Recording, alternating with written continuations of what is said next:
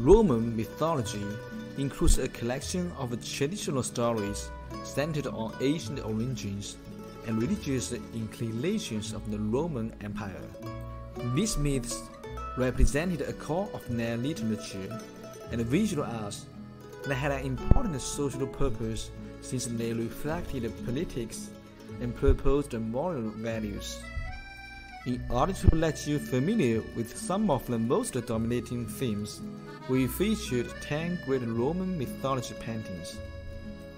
Number 1. Saturn devouring his son. Saturn devouring his son is a painting by Spanish artist Francisco Goya. It depicts the Greek myth of the Titan Cronus eating one of his offspring. Following a prophecy foretold by Gaia that predicted he would be overthrown by one of his children, Saturn ate each one upon their birth. Number 2. The Feast of Venus by Peter Paul Rubens.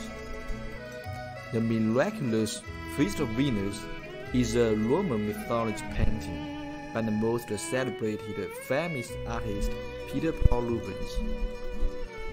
It is a fanciful depiction of the Roman festival Veneralia, celebrated in honor of Venus Verticordia. Number 3. Venus and Mars by Sandro Botticelli. Venus and Mars is a panel painting of about uh, 1485 by the Italian Renaissance painter Sandro Botticelli.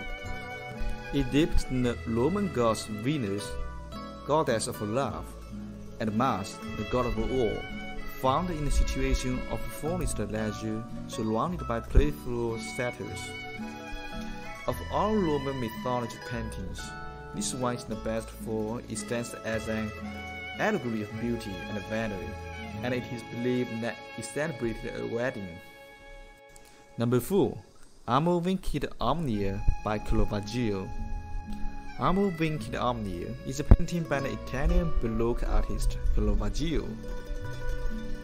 It shows Amor, the Roman Cupid, wearing dark eagle wings, half sitting on or climbing down from what appears to be a table. It is suggested that the painting refers to the domains of Marquis Vincenzo Giustiniani, whose family ruled the island of Chios. This nobleman was enchanted with music and painting, a constructor at the time, and an astronomy scholar. Number 5.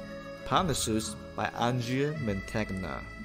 The Parnassus is a painting by the Italian Renaissance painter Andrea Mantegna, executed in 1497.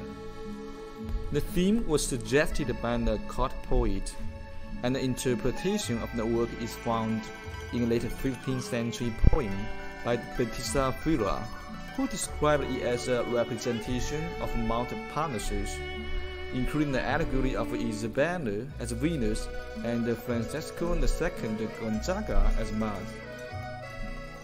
Number 6. Jacques Louis David Mars being disarmed by Venus. Mars being disarmed by Venus is the last painting produced by the French artist Jacques Louis David. He began it in 1822 during his exile in Brussels and completed three years later before dying in an accident in 1825. This large-scale painting depicts Venus, the goddess of love, taking off weaponry from Mars, the god of war.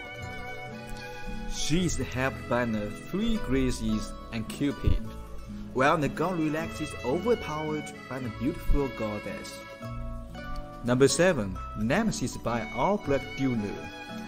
Nemesis was the Greek goddess of divine retribution, and Albrecht Dürer combined her identity here with the Fortuna, the Roman goddess of victory or fortune, displayed as an winged finger on Roman coins. Number 8. Proserpine by Dante Gabriel Rossetti. Proserpine is an oil painting on canvas by English artist and poet Dante Gabriel Rossetti, painted in 1825 and now in Tate Britain. Rossetti began work on the painting in 1871 and painted at least eight separate versions. The last only completed in 1882, the year of his death. Number 9. Pygmalion and the Galatea by Jean Leon Gérôme. Pygmalion and the Galatea is an 1819 painting by the French artist Jean Leon Gérôme.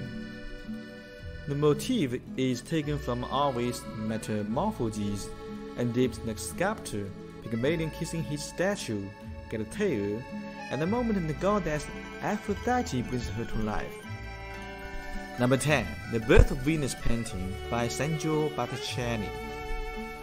The Birth of Venus is a painting by the Italian artist Sergio Botticelli, probably executed in the mid 1480s. It depicts the goddess Venus arriving at the shore after her birth, when she had emerged from the sea fully grown. The painting is in the Uffizi Gallery in Florence, Italy,